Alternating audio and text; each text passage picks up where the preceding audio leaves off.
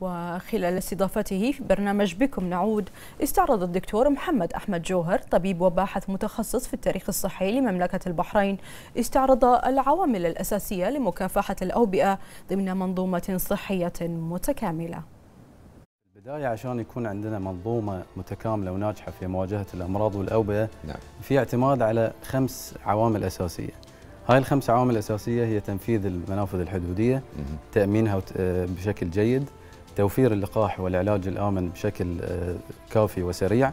آه، الإجراءات الاستباقية التوعية المجتمعية الصحية وأيضا توفير العلاجات واللقاحات الآمنة كما ذكرنا.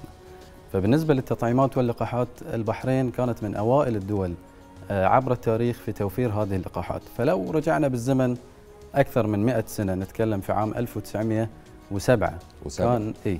في عهد صاحب العظمة المغفور له الشيخ عيسى بن علي آل خليفة حاكم البحرين وتوابعها تم توفير لأول مرة المصل الواقي ضد مرض الطا- الطاعون. كما مم. تعلمون في تلك الفترة كان هناك العديد من الأمراض والأوبئة. منتشرة في آه، الدول المجاورة. فكان توفير هذا اللقاح في عام 1907 سابقة للبحرين.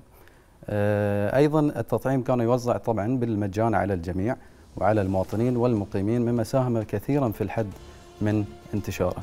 مرورا إلى عام 1924 آه، كانت آخر مرة آه، يحل بها آه، ضيفا وباء. ثقيلا الوباء. وباء الطاعون نتيجة لتوسع حملات التطعيم في ذلك الوقت إذا مشينا شوي بالزمن قدام بنشوف لأول مرة وجود تطعيم ضد الجدري في عام 1927 أيضا في عهد صاحب العظمة الشيخ عيسى بن علي آل خليفة وتم توفيره بالمجان في مستشفيات الدولة في ذلك الوقت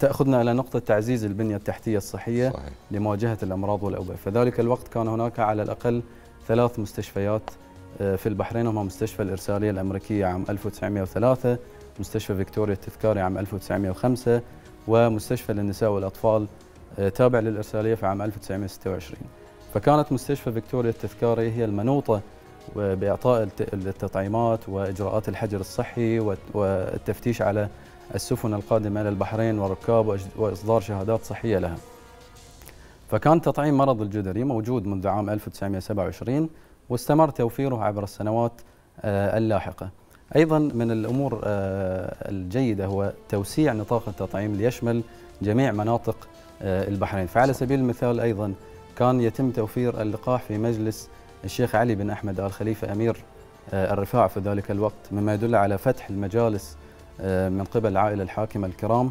لتوسيع نطاق التطعيمات في ذلك الوقت.